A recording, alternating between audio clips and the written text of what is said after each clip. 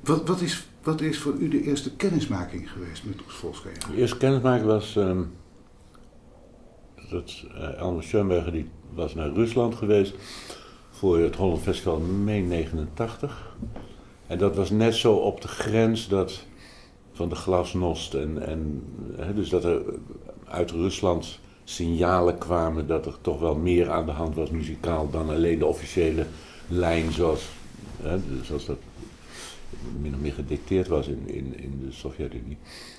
En hij kwam toen terug en onder andere met een stuk, dat was het octet van Oeswolska. En toen ik dat hoorde, dacht ik, wat is dit? Dit is een stem die je niet kende in ieder geval. En uh, met een enorme urgentie. En hier werd iets, uh, dat totaal onverwacht voor mij. En toen ik dat hoorde, dacht ik, ja, daar moet ik, daar moet ik alles van afweten. Dus toen hebben we in dat Holland Festival dat octet uitgevoerd. Daar gingen ook nog allerlei andere stukken.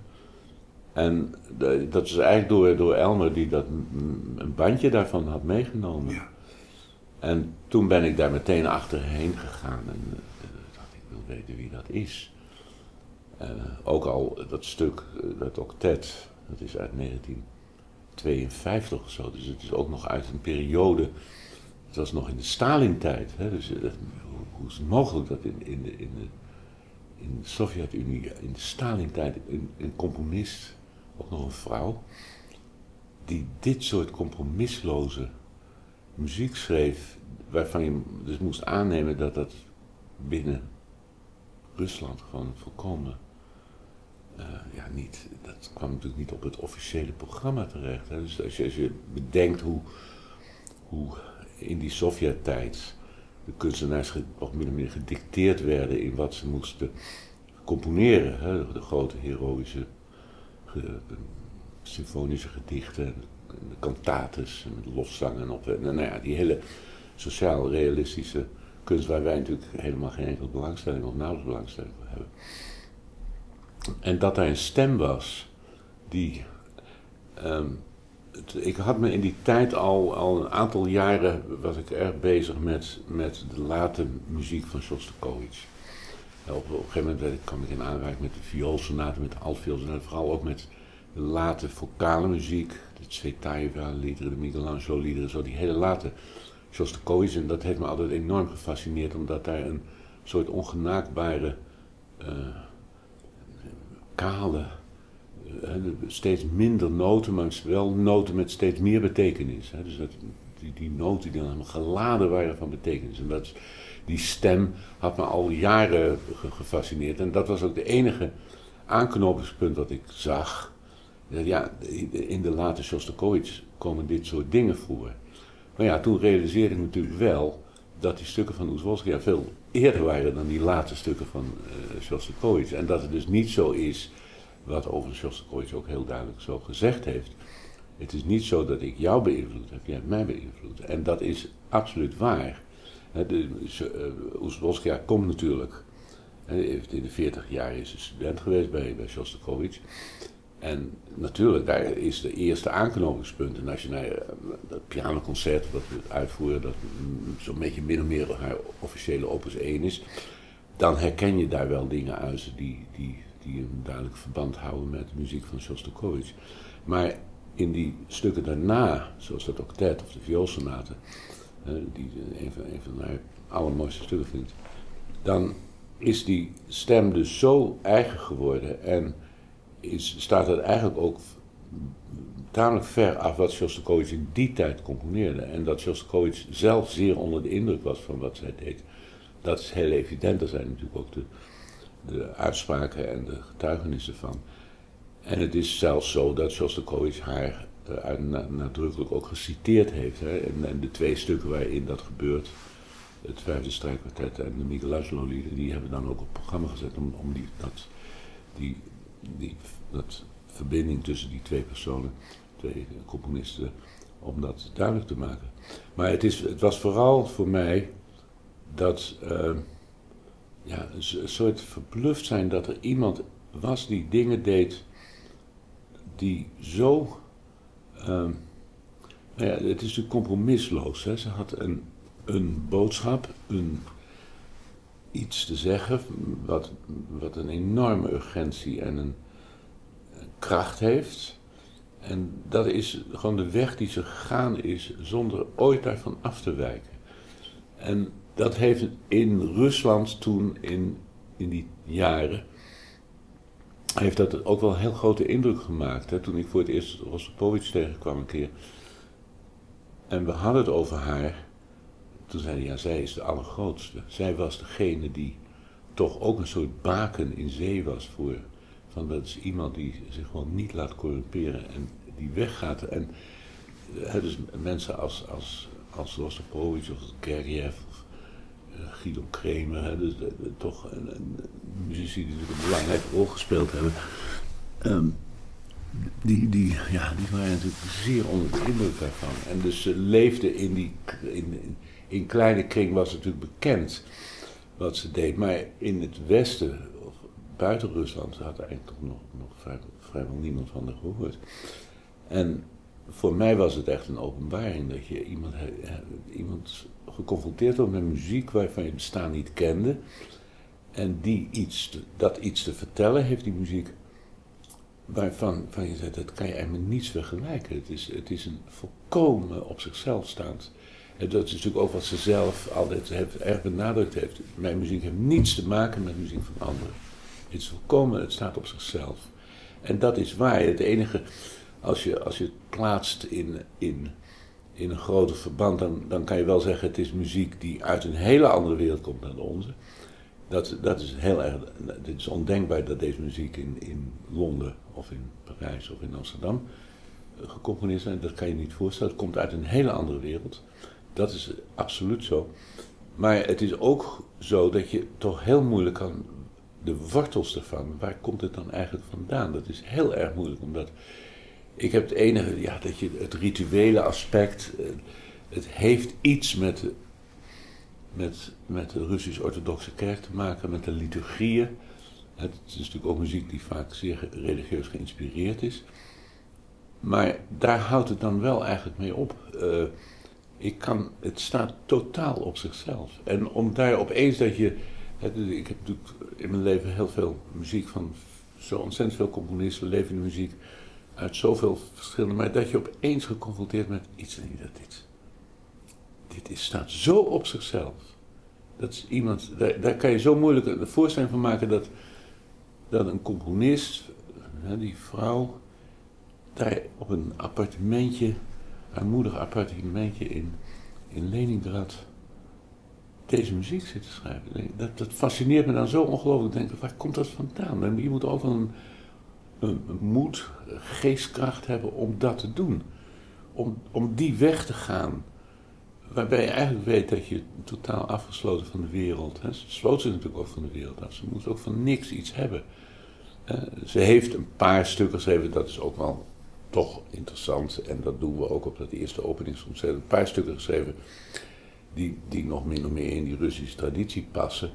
Omdat ze natuurlijk ook nog wel een beetje moest overleven dus er is zo'n symfonisch gedicht, dat is de opening van het, van het festival eh, met het orkest.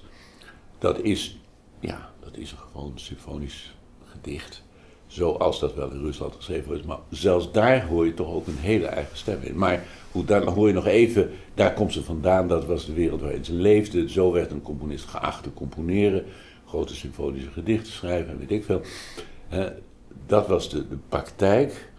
Maar dat zijn een paar werken die er zijn waarmee ze zo, zo, ja, die met zeker succes ook in Rusland zijn uitgevoerd. Maar het eigenlijke oeuvre wat ze laat beginnen bij het pianoconcert, daar, daar, dat staat helemaal haaks op alles wat, wat er in die tijd gemaakt werd. Het, uh, het staat ook een beetje buiten de tijd. Hè. Je kan je nauwelijks voorstellen als je die, die stukken als het octet of de vioolsonate, het trio met klarinet, piano en, en viool, die zo uit eind, eind 40, begin 50 jaar zijn. Daar kan je geen voorstelling van maken hoe dat, hoe dat, hoe dat tot stand is gekomen. Dat, je, dat iemand dat schreef in die maatschappij, onder die omstandigheden, in die tijd. Dat blijft voor mij een totaal raadsel hoe dat mogelijk was, dat iemand dat deed. Ze, ze was niet alleen dat ze zelf, zij, mijn muziek heeft met geen enkele andere Nee. componist te maken, maar dat is en was en is ook letterlijk zo. Ja, het is, het is, het is geen. Ik, ik zie geen andere muziek. De enige, de enige link die je nog een, een beetje kan leggen is met sommige late stukken van Shostakovich. Maar dus, eh, met name de Michelangelo-liederen. Eh, daar zit ook een soort ongenaakbare granieten kracht in met zeer spaarzame noten. Ehm, muziek ontdaan van alle franje. Dus dat het alleen nog maar de kern is, de waarheid. Het dus de- het, het, dat iedere noot wordt gebeiteld in de stenen. Dat is, daar kan je bij Shostakovich wel iets van terugvinden.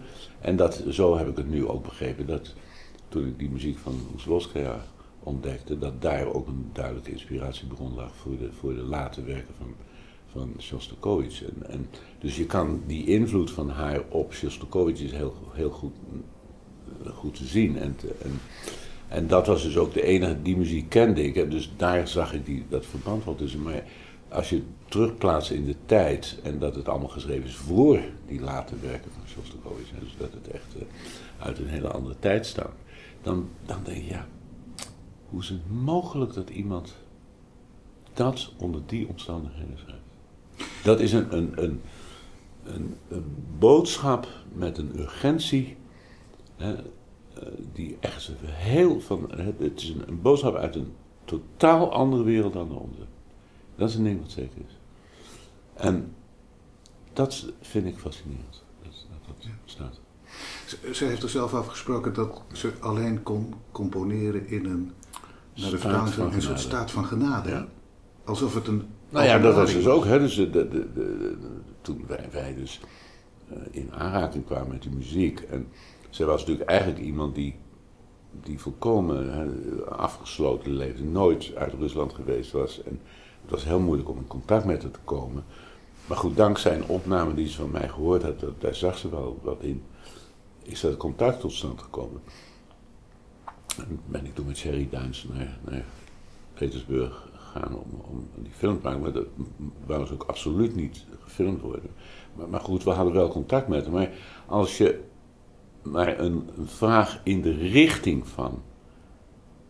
Zou u niet een opdracht willen? Hè? Wat voor Russisch communisme in die tijd met westerse valuta en zo. Hè? Dus, wat, wat was nog wat? Omdat geen sprake van. Dus ik, ik weet, ik kan alleen komen in staat van genade en ik zal nooit weten wanneer dat komt. Uitgesloten. hè. Dus dat ze. Ja, het moet toch. Hè, voor, voor, voor Russische communisten in die tijd dat je een opdracht uit het Westen kreeg, dat was natuurlijk nog wat. Nou, geen, geen denk aan. Geen denk aan. Een volstrekt uniek en op zichzelf staand oeuvre. Onbegrijpelijk eigenlijk waar het vandaan komt. Maakt dat deze muziek moeilijk op een bepaalde manier om te spelen? Om. Nou ja, het, het- je moet het, vind ik, ehm, tot op de laatste centimeter moet je het serieus nemen. Het, het, het gaat erom dat je, dat je begrijpt dat die noten, die, die vaak, ja, zoals Elmer dat natuurlijk mooi omschreven heeft met de vrouw met, vrouw met de hamer, ze worden erin gehamerd. Hè? Dus iedere noot is alsof je bij de hier vastgegeven wordt. En, en dan komt er. En als, als, je dat, als je dat gaat verzwakken, of dat er iets muzikaals aan gaat maken, of denk dan laat ik het een beetje, een beetje fatsoeneren en een beetje bijknippen. Ja, dan mis je, naar mijn idee, volkomen de, essentie van die muziek. Dus het is de radicaliteit ervan. Dat, je, dat is voor mij maar op één manier uit te voeren. En nou ja, dat, dat, het feit dat ik die opvatting had, dat maakte wel dat ze, eh, ja, ze was heel erg eh, eh, blij daarmee. En, dus, en, en ze beschouwde mij toch als degene die beg- begreep waar die muziek over gaat. En ik heb dus ook wel uitvoeringen gehoord. en ik, Ja, god, je kan het wel zo spelen, maar dan, dan mis je toch absoluut de essentie van de muziek.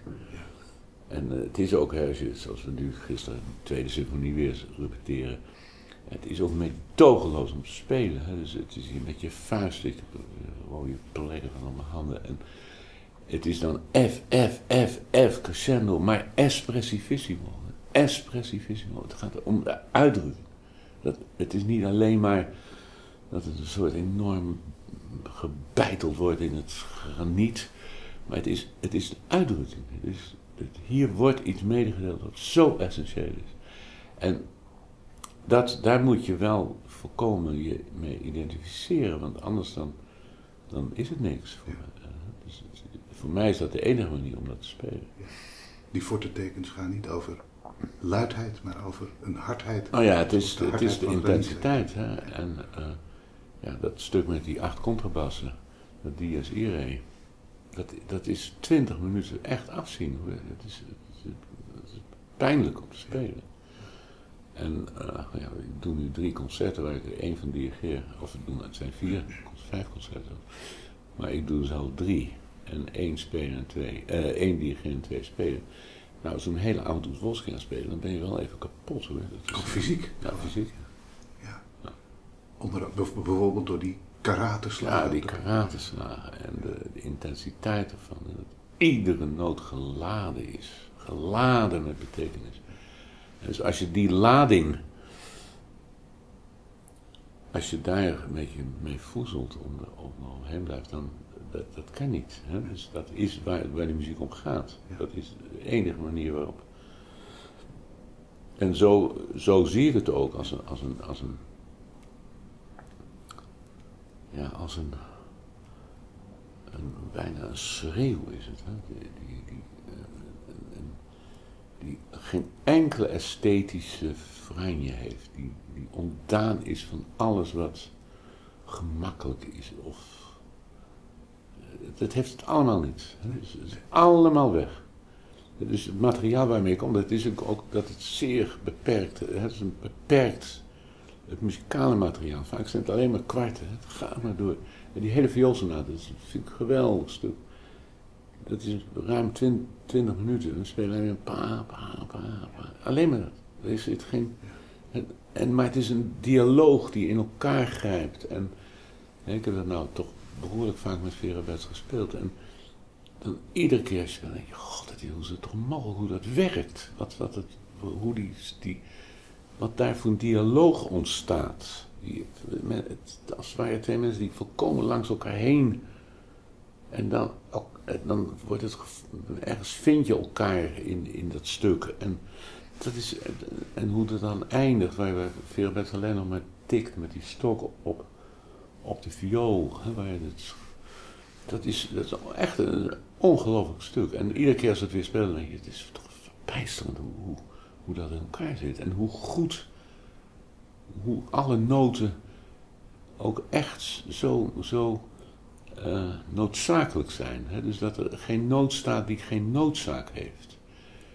En dat een, als je een, je vergist, een foute noot speelt, is dramatisch. Hè? Die, dat, moet de goede nood zijn. Het moet echt die nood zijn. dus het is de noodzaak. dus dat er een, een, iets wordt gezegd wat een enorme noodzaak heeft. Kan alleen maar op die manier gezegd worden. En dat is, vind ik, de kracht van, van de muziek. En dan, ja, dan, dat je je dan voorstelt dat iemand dat opschrijft. In de wetenschap dat het nauwelijks buiten het fletje komt. Er waren een paar muzici die hebben zich echt voor erin gezet, die hebben dat wel gespeeld, maar het was natuurlijk toch heel sporadisch. En ja, het, was natuurlijk ook toen, toen dat op een gegeven moment dan in die glasnost-tijd en het, afbreken van die Sovjet-staat. En, en, dat er toen naar boven kwam dat er toch half ondergronds allerlei componisten. En er zijn natuurlijk meer geweest die, die heel persoonlijke dingen schreven was het wel, uh, ja, was het wel fantastisch dat dat op, op die stem opeens er was. En toen is het ook, terwijl ze eigenlijk zich volkomen had opgesloten, daar nooit buiten, is in het vliegtuig gestapt voor het eerst van leven in Amsterdam gekomen. En hè, ze, ze, ze echt ook, uh, het was natuurlijk wel fantastisch dat ze opeens uh, ook heel iemand uit een totaal andere wereld. Ze, ze, heeft u altijd beschouwd als een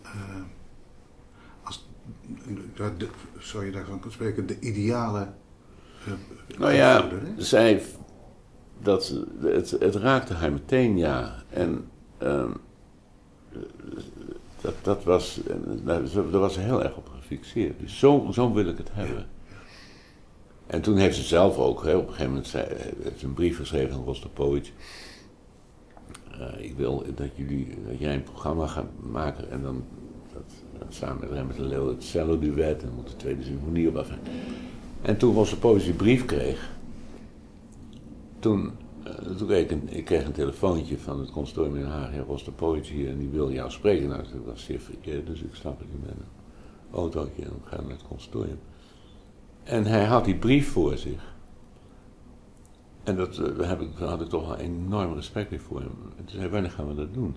Ik bedoel, hij had ook, een, ja god, Rotterdam beroemdheid en gefeteerd. Hè? Nee, serieus nemen en doen. En dus toen hebben we dat, en toen zei ik, nou ja, god, eh, ik vind het geweldig. En laten we bij het concertgebouworkest beginnen als het in is. Nou, die waren geïnteresseerd om dat te doen. En toen hebben we die avond waar ze bij aanwezig was, en waar Rosseboys en ik dat cello-duet spelen. En dat is ook zo'n stuk uit, uit uh, 7, 7 of 58 of zo. 59 in ieder geval, eind 50 jaren. En Rospootje had het nooit gespeeld. Ik had het wel gespeeld. Dat is ook weer zo'n ongelooflijk radicaal stuk. En toen gingen we dat repeteren. En dat begint dus met de piano, in de uiterste, hè, hoogste en laagste noten, een soort furioso. En dan na een tijdje opeens moet die cel erin. En, enfin, we repeteren dat. En, uh, en Rostopowitz zei tegen mij, weet je eigenlijk wel dat dit stuk oorspronkelijk voor mij geschreven is? En dat, twijfel ik niet over, want Rostopowitz heeft ja, zoveel componisten uh, opdrachten gegeven. En die heeft, zeker al die Russische componisten hebben allemaal voor hem geschreven. Maar niet alleen Russische componisten, heel veel. Hij heeft waanzinnig veel voor het repertoire, zelf repertoire, betekend. En toen vertelde hij, ja, ik kwam in de 50 jaren, ik liep op straat en dan komt Shostakovich in gezelschap van een zeer mooie vrouw.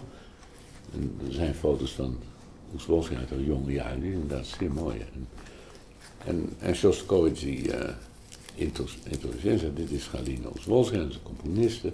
Nou ja, kan je voorstellen, dat was Rostopowitsch, een componist en dan nog een mooie vrouw. Ja, dus, oh god, Galina, kan je niet een stuk voor me schrijven? En hij kon er ook heel mooi nadoen, dat zelfs een hoog stemmetje. Nee, kan niet, dat kan niet. Nou ja, toen, een paar jaar later, zei kwam ik er weer tegen, weer in gezelschap van Shostakovich. En toen zei ze, Slava, ik heb een stuk voor zelf geschreven. En Ossenboy zei, god, fantastisch Galina, dan kan je niet iets spelen. En toen zei Rossenpoys tegen mij, terwijl ik dus behoorlijk tekeer ging op die piano, vergeleken met haar speel jij soort pianissimo. Dat, dat frelle vrouwtje ging aan de piano zitten en hij zei, ik, was zo gechoqueerd. Ik was zo totaal gechoqueerd. Ik heb het stuk nooit durven spelen. Hij was gewoon totaal ondersteboven dat iemand met dat stuk in de vijftiger jaren. Hè, en hij zei, ik, ik was totaal verbijsterd. En dat was, toen hij met mij speelde, dat was de eerste keer dat hij het speelde. En dat was wel fantastisch. Ze kwam en uh, we deden dat hele programma. En, en Rosse Poos, uh, die, die, die, die ging echt met enorm respect met haar om. Hè. Dus als ze iets zei, dat werd ook echt serieus genomen. En, uh, en dus uh, dat, dat, maakte veel indruk op me, dat, dat, hij dat echt volkomen serieus, zo, zoals zij het wou. Dus dat was wel een heel bijzonder moment dat ze uit Rusland kwam. Sindsdien heb ik het nog in Wenen en in Bern en hè, waar, die, en dat ze daar dan ook, heb ik ook dus dat ze echt op concerten kwamen. Hm. Ja. ja. Schuilt de, uh, de, de, kracht in haar muziek inderdaad in, uh, zoals Elber dat ook zegt, dat het pijnlijk waar is. Nou ja, dat is natuurlijk, het is, uh, het is pijnlijk. En ja, en het woord waar in muziek is natuurlijk altijd heel moeilijk. Ja, wat, wat betekent dat? Wat, is, wat betekent dat? Ja. De waarheid. Maar het zijn wel noten die onverbiddelijk zijn en alleen maar deze noten kunnen zijn. Dus dat, uh, Elma heeft, dat, heeft daar zeer fraai over geschreven. En, dat, zo voel ik dat ook, ja. Dat het een pijnlijke, uh, ongenaakbare, uh, compromisloze. Het is een gebijtel. Iedere nood komt uit noodzaak. Ja. En dat, dat is een, een ja, dat, dat kunnen wij ons in, in, de, in de westerse muziek is dat bijna niet. Alles kan, alles mag. Dus ja, je kan op je kop gaan staan, alles hebben we al een keer gezien. Er is een soort blasé. Van ja, we kennen alles muziek langzamerhand wel. En er is een hoop ironie. En, maar dat in die wereld niet. Ja, dus daarom is het ook werkelijk, komt die, komt die boodschap of die waarheid of wat het dan ook is die komt echt uit een totaal andere wereld dan onze. Ja. Daar, daar, is, daar is geen twijfel over mogelijk. Dat, is, uh... Maakt het dat ook niet des te noodzakelijker dat dit festival er nu is? Nou ja, het is, ik vind in ieder geval, is het, het, het, heeft dus hier, we hebben natuurlijk in de loop van de jaren, het begon dus in 1989 of zo, en dat is dus ook alweer meer dan 20 jaar geleden. We hebben natuurlijk een aantal van die stukken echt op, neergezet. Mhm. En het blijven nog altijd incidentele dingen natuurlijk. Hè. En om, dat, om één keer nou in, in zo'n groot weekend dat echt in een verband. Er zijn natuurlijk ook vanuit Nederland die, die films gemaakt. Hè, met Sherry Duits en José. Die natuurlijk een heel bijzonder contact met haar had. Hè, ehm, die was natuurlijk sowieso heel erg belangrijk ze vloeiend Russisch uh, praten. Maar die, die had echt een hele speciale band met haar. En dat is wel heel bijzonder dat in die film van José doet ze uitspraken die ze nergens anders ooit gedaan heeft. Die, die zijn dus zeer uniek. Want in de film van Sherry Duins wou ze absoluut nog niet in beeld komen. En dat was dus toen, tien jaar later of zo, met, met José wel mogelijk. Dus dat zijn unieke opnames die daar gemaakt zijn. En um, dus dat heeft hier mede door Sherry en, en José, die, die, daar aandacht aan besteden. En doordat wij zo met de muziek met Vera Betts en met, het Schoenberg Ensemble, en, dus dat we die stukken echt uh, neergezet hebben. En nu is, om, om zo'n retrospectief te hebben, um, daar zit ook dat openingsconcert waarbij we dus dat symfonische gedicht doen wat echt nog, nog in relatie staat met wat, wat gecomponeerd werd in die tijd in Rusland. En haar opus 1, hè, dus, dus kan je zeggen dat pianoconcert, wat een eerste stap is naar een heel persoonlijke taal, maar nog wel een duidelijk verband laat zien met, met, met, met name met Shostakovich. En die combinatie met de Michelangelo-liederen van, van uh, Shostakovich is zo'n geweldig stuk. Is. Dat is echt zo'n monumentaal stuk waarin Shostakovich, dat is een stuk waar hij het dichtste bij haar komt. Dus dat als openingsconcert is dat wel erg mooi. Je ziet eigenlijk de meest radicale Shostakovich en de meest nog gecombineerd met nog de meest traditionele Oezwolskaya. Dus die, in die combinatie. En dan de andere concerten, die zijn natuurlijk echt uh, om die ontwikkeling te laten zien van de vioolsonaten en het octet, vroege stukken, naar de tweede symfonie en, en naar de, drie composities en die twee korte late symfonieën, dus nummer 4 en 5, dat zijn ongeveer de laatste stukken die ze geschreven heeft.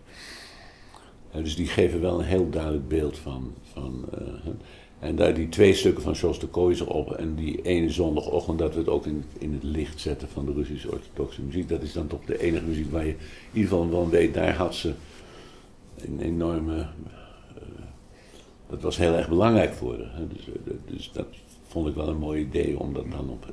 Dus dat, de, de, enige muziek die niet van haar is, dat zijn precies die, die twee stukken van Shostakovich waarin hij haar citeert. En, en de Russisch-orthodoxe muziek. En, en, daar dan zo het beeld te schetsen. Ja, ja. Nou, de, de gedachte die het opwekt, gelukkig bij veel mensen die ik spreek, is wat goed dat er een festival is die, waarbij niet een marketinggedachte hmm voorop heeft gestaan, maar waarbij het gaat om de Nou ja, goed, je, je, kan, je kan hier niet, je kan hier niet uh, mee voezelen. Nee. Je kan hier niet zeggen, oh, we moeten er ook nog iets leuks doen en nog een beetje dit of dat. Je doet het of je doet het niet. En dat moet in de geest van haar muziek zijn. En dan, eh, dat, eh, dit is een monument voor haar. En dan, als je daar dan in begeeft, dan kom je in die wereld terecht. En ja, dat is een onthutsende wereld. Het is geen gemakkelijke wereld. Maar dat, dat is wel iets te zeggen. Als je daar kennis van wil nemen, dan is dit wel een hele goede gelegenheid om dat te doen. Ja, ja. Nog één ding, wat zo bijzonder opvalt ook in haar oeuvre is, er is altijd de piano. Die altijd Ja. een, een, een centrale rol Ja, speelt. de piano is absoluut centraal in alle, alle muziek. Hè, dus behalve in die paar echte orkeststukken. Eh, die, die symfonische gedichten, daar komt geen piano voor verder. Ik geloof eigenlijk in alle stukken. Ja. Overal is piano, ja. Ja, piano is natuurlijk, dat is natuurlijk ook duidelijk het, het instrument waar je... eh, ja, dat is dat, rechtstreekse karakter ervan. hè. Het is, het is een slaginstrument. Het is, het is geen, het is geen cantabile, het is niet een instrument wat van zichzelf zingt. Het zijn, eh, dat, dat is dus, ja, dat is absoluut de kern van. Ja. En dat is ook in, in haar oeuvre heb je natuurlijk die zes pianosonates die door het hele oeuvre lopen. En dat zijn natuurlijk ook de, allemaal die mijlpalen Ja. ja. En de piano altijd inderdaad als slagwerkinstrument vooral. Altijd als. eh, nou ja, als. iets wat enorm spreekt. Hè? Het is spreken. Want in- bijvoorbeeld in die vioolsonate, dat is, dat is nou helemaal geen stuk waar je zo'n enorme fysieke. eh, dat, dat heeft het helemaal niet. Het is eigenlijk. Maar het is het spreken ervan. Hè? En dat je, eh, dat, dat, dat je bij iedere noot voelt, dat er, is, er worden allemaal dingen gezegd hier. Hè? Het is allemaal eh, zo geladen met betekenis. Hoe, wat, wat die betekenis dan ook is, want die kan je natuurlijk alleen dan in muziek uitdrukken, althans. Je kan het niet vertalen, maar het is wel dat je bij iedere voelt, dit is zo betekenisvol. En dat is wat, wat er zo ongelooflijk aan zuigt, hè, aan fascineert. Dat je, dat je er voortdurend weer mee bezig bent met die. Vaak zijn het maar, gaat het om een paar noten. En die vioolsonaten in, in pim pam pim pim pam. Dat is bijna autistisch. Dat komt wel 60 keer of zo, en misschien wel meer. En soms dat Vera alleen maar pim pam pim pim pam pim pam. En ik probeer nog van alles. En zij blijft maar op dat ene. En dan, en zo, zo'n, zo'n boodschap. Al door maar weer. Obsessief is het. Obsessief met, met die paar noten omgaan. Dank u wel voor uw tijd. Uw toelichting.